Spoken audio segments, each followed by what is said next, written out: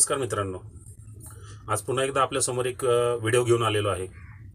या व्हिडिओ काढण्यामागचं कारण एवढंच आहे की सर्वसामान्य माणसांपर्यंत या प्राण्यांविषयीची माहिती पोचावी आणि तसंच काही प्राणी जर संकटामध्ये सापडले असतील तर त्यांना संकटातनं मुक्त करण्यासाठी सुद्धा कोणीतरी कार्य करत आहे हे सामान्य माणसापर्यंत पोचावं.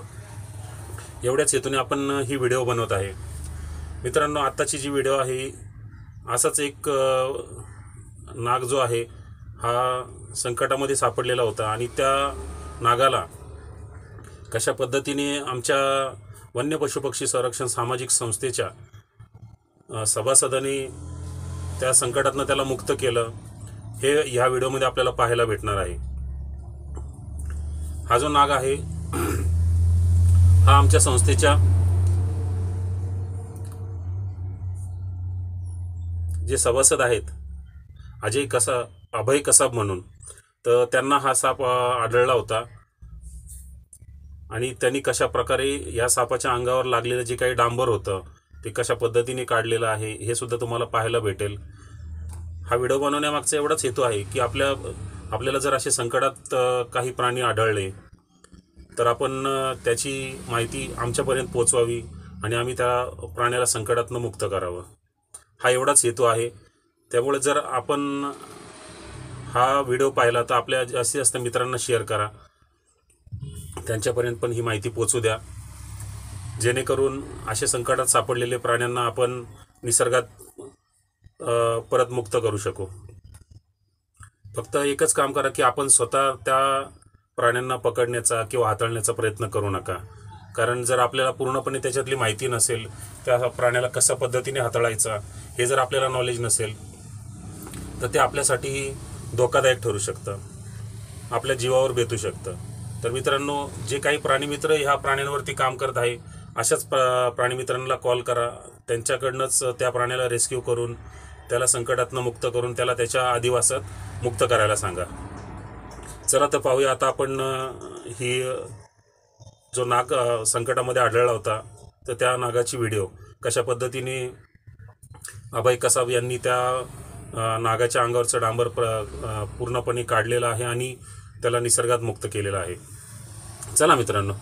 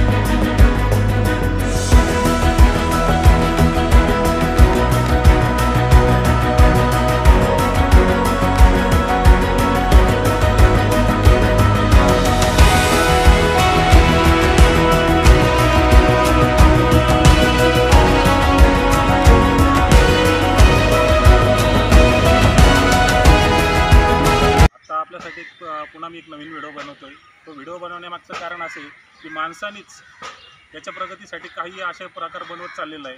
त्याच्यामुळं या हे जे मुख्य प्राणी आहेत किंवा हे साप जे आहेत त्यांना त्रास होतोय.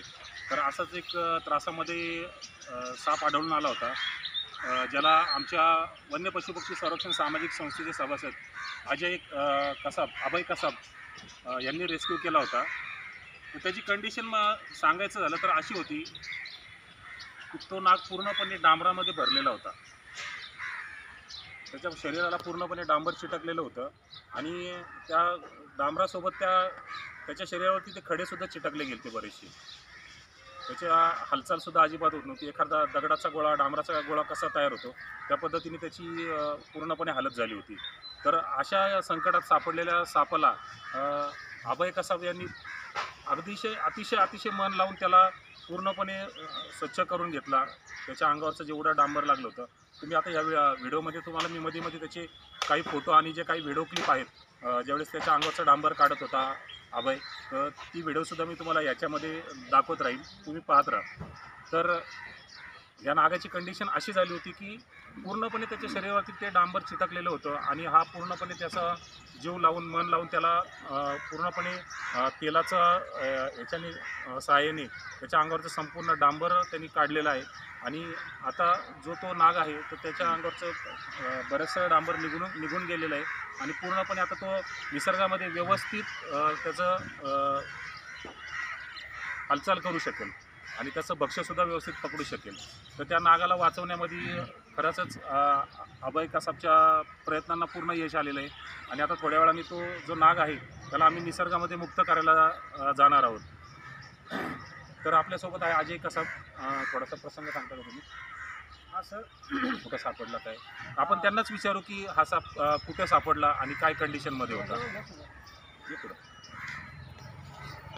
मी ज्यावेळेस स्पॉटवर गेलो होतो तर जे आपण रोडवरती कामं करतात लोक नाही का डांबराचं वगैरे ते ज्यांचे ते बॅलर अस बॅरल असतात ते ड्रम ते डांबरचे ते असे खाली पाडलेला होता आणि त्याच्यामध्ये तो नाग गेलेला होता. मला स्पॉटवर जाण्याच्या अगोदर त्यांनी तो नाग काढला होता आणि एका डस्टबिनमध्ये नाही का ठेवला होता. मी ज्यावेळेस स्पॉटवर गेलो आणि मी बघितली त्याची हालत मला असं बघवून असं झालं होतं. कारण एखाद्या सजीवाला असं नाही का स्वतःच्या जीवासाठी तो तळमळ करतोय अशी त्याची ती हे चालू होती तिथं तळमळ. किंवा त्याला असा पूर्ण असा दगड झाला होता त्याचा. त्याला पूर्ण म्हणजे त्याला हालचालही करता येत नव्हती आणि त्याला त्याचं जे माऊथ आहे त्याचं तोंड त्याला खोलताही येत नव्हतं काहीच नव्हतं. त्याच्या पार डोळ्यापर्यंत किंवा त्याच्या आतमधल्या दातांपर्यंत ते डांबर गेलं होतं आणि त्याचं ते पूर्ण असं घट्ट झालं होतं. आणि त्याला आता माहीत नाही किती दिवस झाले पडला होता आणि उन्हाने त्याला जास्त त्रास होत होता. मग मी त्याला घेऊन आलो घरी. घरी घेऊन आल्याच्यानंतर सरांच्या मार्गदर्शन दर्शनाखाली मी त्याला तसं तसं हे करत गेलो. प्रोसेस सरांनी सांगितलं तसं मी स्वच्छता करत गेलो त्याची. आणि मी आपलं जास्तीच नाही फक्त घरचे जेवढे म्हणजे नॉर्मल नॉर्मल जे ट्रीटमेंट असतात ना आपलं घरचं जे असतं त्या त्याच्याने त्याला साफसफाई हां त्यालाच्या साह्याने त्याला साफ केलं किंवा मातीमध्ये वगैरे तेवढं तेवढंच केलेलं. जास्त कुठलं साईड इफेक्ट त्याला होईल किंवा त्याच्या जीवाशी हानिकारक होईल अशी कोणतीच वस्तू वापरलेली नाही आहे आता तो त्याच्या ने नेचरमध्ये किंवा सानिध्यामध्ये तो पूर्णपणे व्यवस्थित आणि त्याची तो लाईफ जगल असं तो झालेला आहे. एवढंच सांगतो मी. तुम्ही बघू शकता आता त्याची कंडिशन काय आहे. अगोदर काय होतं आणि आता कसं झालं आहे तो? त्याचे व्हिडिओ व्हिडिओमध्ये तुम्हाला त्याचे छोटे छोटे क्लिप टाकणारच आहे आम्ही बघण्यासाठी. कसं त्याला स्वच्छ केलं किंवा त्याच्या अगोदरचे फोटो तर आता हा जो साप पाहताय आपण त्यांनी फणा वगैरे व्यवस्थित काढलेला आहे. पण अक्षरशः ज्यावेळेस सुरुवातीचं तुम्ही या व्हिडिओमध्ये पाहताल फोटो आणि जो छोटा क्लिप आहे त्याने सुरुवातीचा काढलेला. तर त्याच्यात त्याची हालचाल पूर्णपणे मंदावलेली होती. त्याला पूर्ण ते डांबराला दगड चिटकल्यामुळं अंग जड झालेलं होतं त्याचं. त्याला हालचालही करता येत नव्हती आणि फनसुद्धा व्यवस्थित काढता येत नव्हता. आता याच्यामध्ये तो फनसुद्धा व्यवस्थित काढतोय आणि निसर्गामध्ये तो व्यवस्थित जगू शकेल अशा हिशोबाने आता त्याला आपण पूर्णपणे ट्रीटमेंट दिलेली आहे. आणि आता थोड्याच वेळात त्याला लगेच आपण इथं निसर्गामध्ये मुक्त करणार आहोत.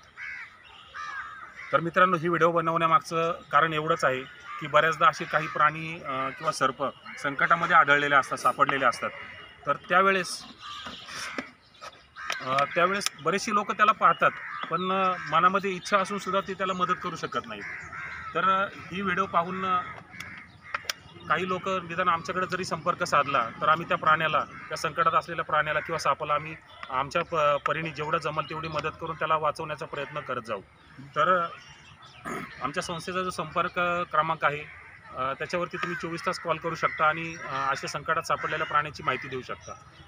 आमच्या संस्थेचा संपर्क क्रमांक आहे eight six five seven two six seven nine two five. या नंबरवरती आपण चोवीस तास कॉल करू शकता आणि त्या संकटात सापडलेल्या प्राण्याची आम्हाला माहिती देऊ शकता. जेणेकरून त्या प्राण्याला आम्ही योग्य ते ट्रीटमेंट देऊन वाचवण्याचा नक्कीच प्रयत्न करू शकू. चला तर मित्रांनो आता आपण याला पहिलं निसर्गात मुक्त करू. साधारण ह्या सापाची लांबी सा चार ते साडेचार फुटाची आहे.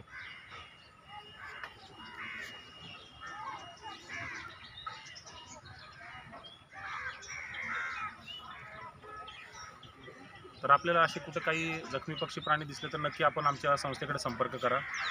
धन्यवाद. तर मित्रांनो मी सर्पमित्र आबे कसाब मागाशी ज्या नागाबद्दल तुम्हाला आम्ही पूर्ण माहिती दिली. त्या त्याच नागाला आम्ही आता निसर्गाच्या सानिध्यात सोडण्यासाठी आलो तुम्ही बघू शकता फॉरेस्ट साईड पूर्ण परिसर आहे हो. आणि आमच्या माझ्यासोबत आलेले आहेत प्रवीण सर तसेच प्रसाद सर आणि माझा छोटा भाऊ अजय कसाब आम्ही याला आता इथं निसर्गामध्ये मुक्त कर आलो. हां बस कर.